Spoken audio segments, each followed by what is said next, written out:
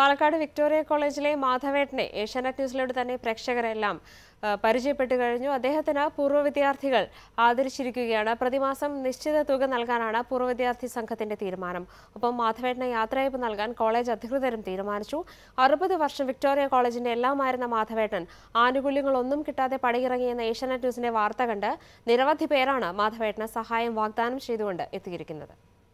നനഞ്ഞ കണ്ണുകളല്ല മാധവേട്ടന്റെ ചിരിക്കുന്ന മുഖമാണ് ഇക്കുറി ഞങ്ങളെ വരവേറ്റത്.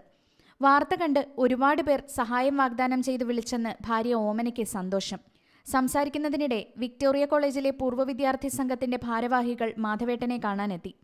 പഴയ കഥകളും ക്രിക്കറ്റ് മത്സരങ്ങളുടെ ഓർമ്മകളും പങ്കുവച്ച് അല്പനേരം. പിന്നെ മാധവേട്ടനായി പൂർവ വിദ്യാർത്ഥി സംഘം ഒരു നിശ്ചിത തുക എല്ലാ മാസവും നീക്കിവെക്കാൻ തീരുമാനിച്ച വിവരം അദ്ദേഹത്തെ അറിയിച്ചു.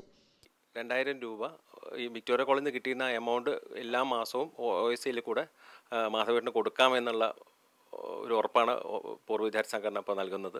ലക്ഷക്കണക്കിന് വിക്ടോറിയൻസ് ആണ് റെസ്പോണ്ട് ചെയ്തത് ഈ ഒരു വാർത്തയുടെ അടിസ്ഥാനത്തിൽ. അപ്പോൾ ഞങ്ങളെ സംബന്ധിച്ചിടത്തോളം മാധവേട്ടന്റെ ശിഷ്ടകാലം അദ്ദേഹത്തിന്റെ ജീവിതകാലം മുഴുവനും തന്നെ ഈ എമൗണ്ട് കൊടുക്കാനും അദ്ദേഹത്തിന് എന്ത് ആവശ്യം വന്നു കഴിഞ്ഞാലും വിക്ടോറിയൻസ് ഒപ്പം ഉണ്ടാവും എന്നുള്ളൊരു വാക്കാണ് നൽകുന്നത്. മാധവേട്ടന് ഉചിതമായ രീതിയിൽ യാത്രയയപ്പ് നൽകാൻ കോളേജ് അധികൃതരും തീരുമാനിച്ചിട്ടുണ്ട്.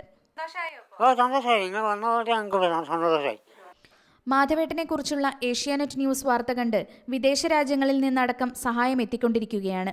ശിഷ്ടജീവിതം മാധവേട്ടന് ഇനി വിശ്രമിക്കാം. കുടുംബം എങ്ങനെ പുലരുമെന്ന ആധികളില്ലാതെ. വിശ്രമമൊക്കെ ആവാം എന്നാലും ഇടയ്ക്ക് വെറുതെ വിക്ടോറിയയിൽ പോകാമല്ലോ എന്നായിരുന്നു അപ്പോഴും മാധവേട്ടന്റെ ആത്മകഥ. പാലക്കാട്ട് നിന്നും അരവിന്ദിനൊപ്പം കൃഷ്ണപ്രിയ ഏഷ്യാനെറ്റ് ന്യൂസ്.